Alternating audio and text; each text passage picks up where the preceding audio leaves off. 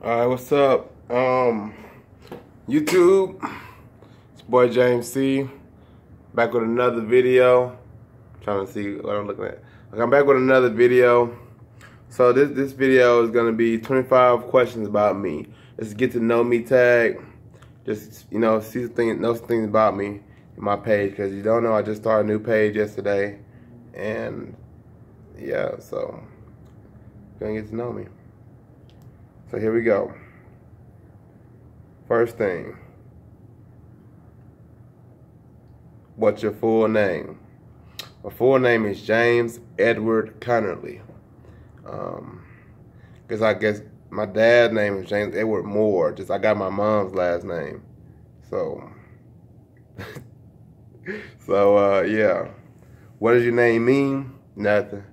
I think it's pretty prestigious though, if you ask me.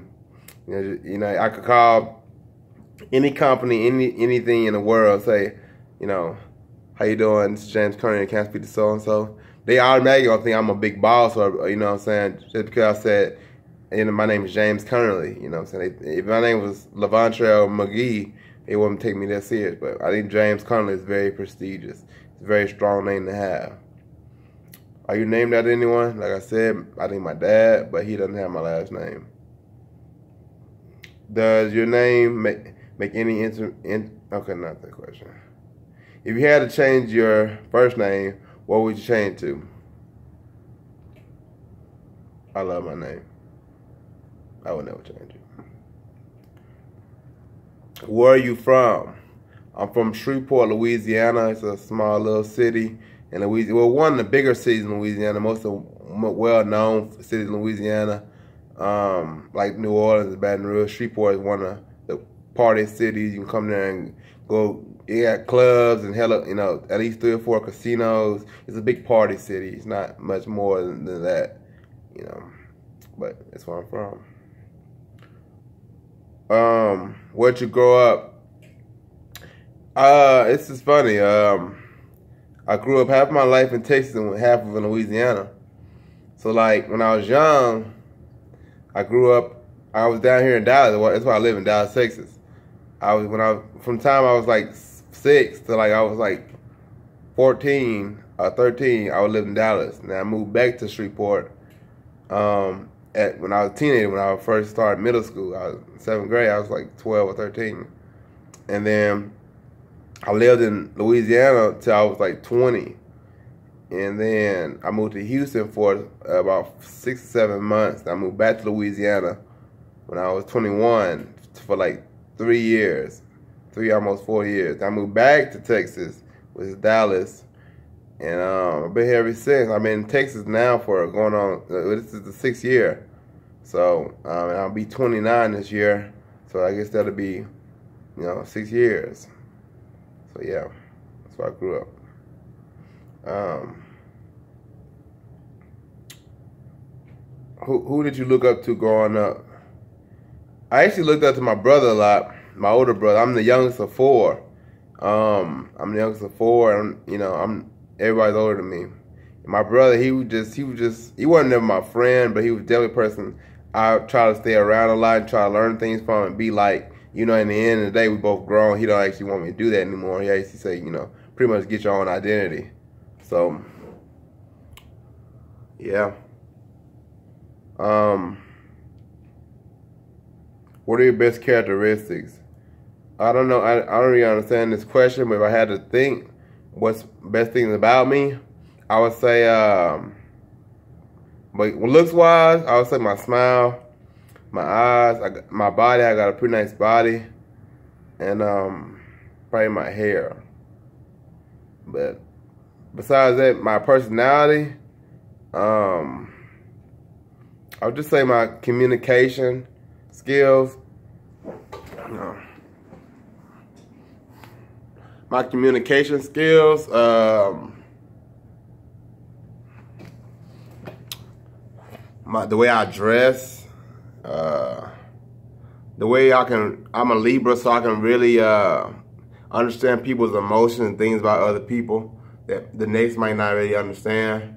So it's really cool. Um, I'm just, and I'm keen with music and people.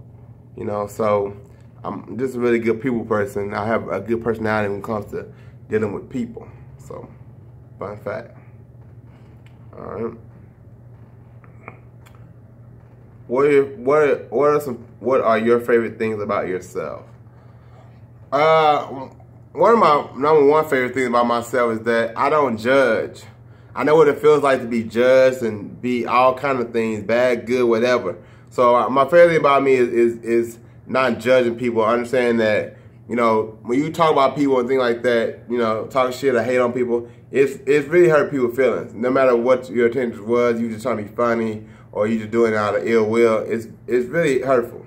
So I think the best best thing about myself, I think that is I don't judge. I'm really I live life based off of reality instead of my emotions. You know, instead of thinking like I don't like that motherfucker, I'll be like I think like what have that motherfucker did to me. You know, so I think that's my favorite thing about myself. Next question. Which are your parents are you closest to? My mom. Um I actually, I actually uh, tell her all the time, like, I think I'm the male version of you, mom. She's like, no, you're not. But I think I am. You know, my dad, he's he's never been around, so that's the average black story. You know. Okay. Next, next question. I'm trying to get the. I'm trying not look in the camera.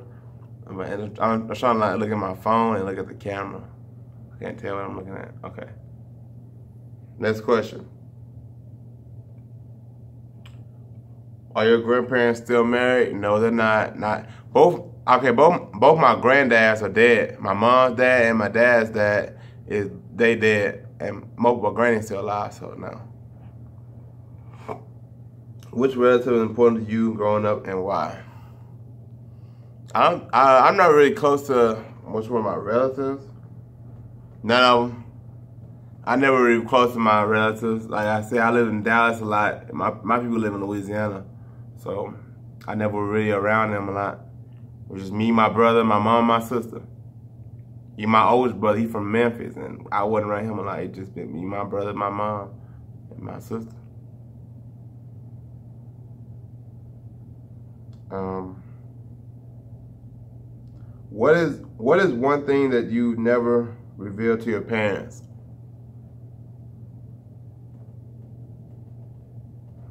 I don't know. I'm very open. Uh, my life is an open book. I talk so much. I like when I drink coffee, I talk so much. So I might reveal things you might not even want to hear. You know what I'm saying? I'm not very secretive person, so anything you want to know, just ask me. I mean, I, I, when I say anything, I mean anything. I, I feel like if I lie to you, it's because I don't want you to know something. And, and you understand that what, I, what you mean when I, when I say that? Like if I lie to you when I don't want you to know something. But that means like you can ask me anything. But if I didn't want you to know something, then I'd probably lie. You know, like if my mom, if, if my mom or my girl was at work and I was at home like I am now, and they asked, James, you know, did you wash the dishes? And I know I ain't washed dishes, I ain't cleaned the house like they asked me to do. I'll lie and be like, yeah. You know what I'm saying? No, I ain't do it. That's how I would lie. If I didn't want you to know something, I would lie to you. But really, I'm an open book. You can ask me anything. All right, next question.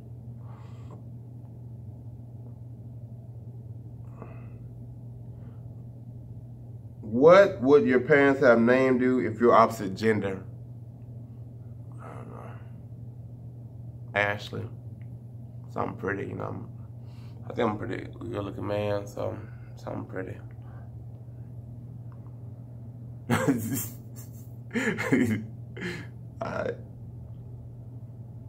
What do you call your grandparents? Uh, I actually call my grand my, my daddy mama, granny, and I call my mama, my my mother's mother, uh, my mama. I don't even, you know, we're not really close. So I, just, I, I, speak of her like the third person, like your mama, uh, mom, mama. I only call her granny. I don't really talk to her that much. She's another story. What's your best physical feature? I think I already said this, my smile. I gotta go to the dentist, but I think it's my smile. I think, and maybe my eyes. I think I got nice good eyes. All right, now look like I'm high. I got some pretty nice eyes. Anyways, next question. What's your biggest accomplishment? Um, I think my biggest accomplishment is just coming out of a a bad uh, bad time in my life, and I was really really in a bad place, and I kind of broke out of that whole kind of world I was living in, and I shook back, and I just kind of became a man instead of being like really depressed. And so, I, my biggest accomplishment to me would be is just being resilient and fighting, even though the world trying, even though I feel like the world trying to bring you down, just fighting back and standing on two feet like a man, standing up against all odds. At the end of the day, it's just being strong and you know being a you know. It's a song called by Lupe Fiasco. I don't know what it's called, but I love the hook. He said, "I could have died, but I came out fighting. Could have died, but I came out fighting. Could have died, but I came out fighting." Fighting. Could have died, but I came out fighting. So yeah.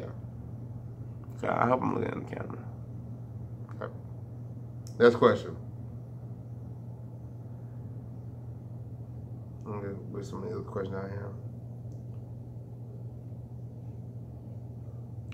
What's my biggest fear? I don't know, nothing. I'm gonna get a tattoo. I think God is my biggest fear. I'm get a tattoo is um, that say "Fear nothing but God." I'm get right here in my heart. Fear nothing but God. You know, I'm get. So I always look at and remember that. Don't fear nothing but God. I'm saying. Yeah. Next question. I don't know how many questions I'm just gonna stop when I get tired.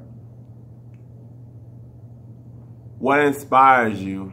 Um, things that inspire me are people that that have accomplished goals that no matter what age they are and living in a, a place uh, where they're comfortable and they can be successful and be happy. Um, people that inspire me, people that the the the low man, the the underdog, and they, they come up like a rose sitting out of a, a, a, out of a crack, you know, shining and beautiful.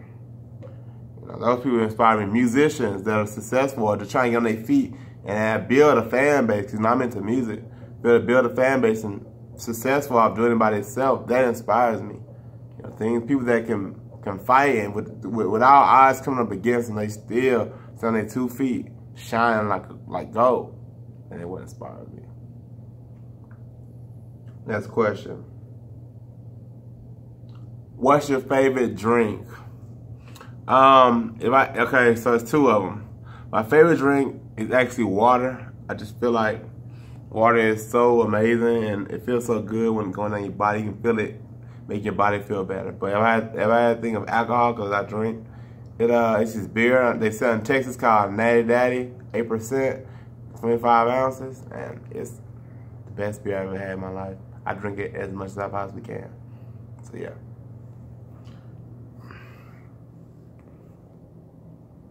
What's your favorite food? My favorite food is chicken. Or chicken, rice, and pasta. Any type of chicken, any type of rice, any type of pasta. You know, like noodles or Alfredo or macaroni noodles. You know, anything like, yeah, that's pasta. Chicken, rice, and pasta. What's your favorite quote? Quote. I think mine probably right right now is a uh, Young and M.A. I could never lose. What you thought? What they thought? I could never lose. What you thought? You know, it's like I feel like that's how my life is. Like some people, people want to see me go down, and when I when I fall off, when I fail on certain missions, they want they think, okay, James stuck. He gonna just stop right there, and I come back, hit him hard again. He stunned me. He got money. He, he got a new job. He's doing what he got to do. So I think my favorite one is I can never lose. What you thought? All right. Next question. I think I'm gonna do like five more because I don't know how many questions I'm gonna do.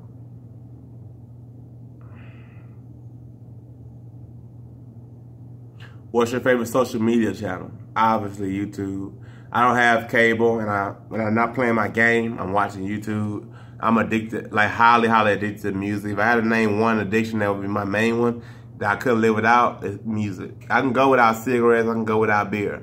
I can even go without sex, but music, I gotta hear it every day. You know, so that's my number one addiction.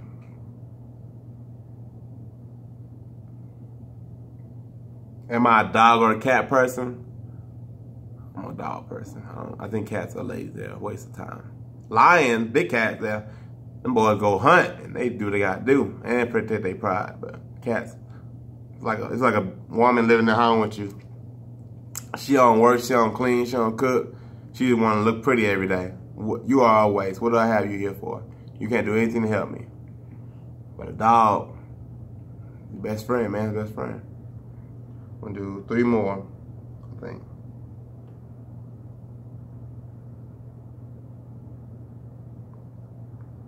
Do you have a tattoo? No. But I plan on getting uh, just two.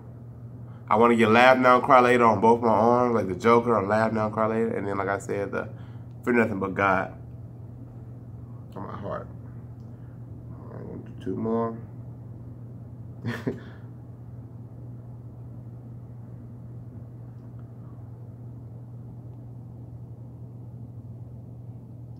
That's a good one. How old were you when you found out Santa wasn't real? I don't know how old I was, but I promise you, I believe, I believe that he was real for, for real, for real. Like, I never forget, like, I was a kid, uh, and I was probably like six or seven. I remember it was the winter time, it's after the winter, because it's Christmas. And I was, I had woke up like at 12 o'clock at night. You know, as a kid, you be so excited to open your present the next day you can't sleep. So I, I woke up like 12 o'clock at night, and I, and I, swear I heard like someone walking on top of the the, the roof of the the house, and I'm like, that's Santa. But like, I'm thinking like, if I if I go to sleep, I won't see him, and then I get my presents. You know, he can't see Santa. You know, he won't come in. So I, I, I don't know how old I was when I thought he wasn't, when I realized that he wasn't real, but my mom always said, I'm Santa Claus. So I think when she started saying that she was Santa Claus, that's when I realized, you know. But I thought he was real for a long time. Last question.